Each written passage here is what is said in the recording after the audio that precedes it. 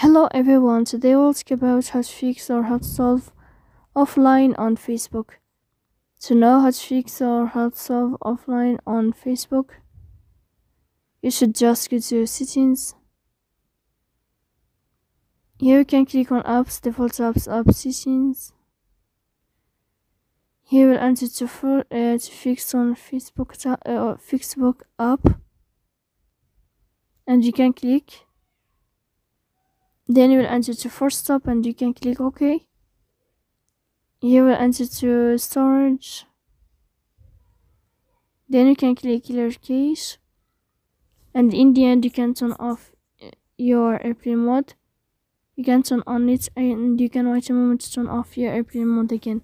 So please don't forget to support us by like and uh, subscribe. See you next time in another video and uh, thank you for your attention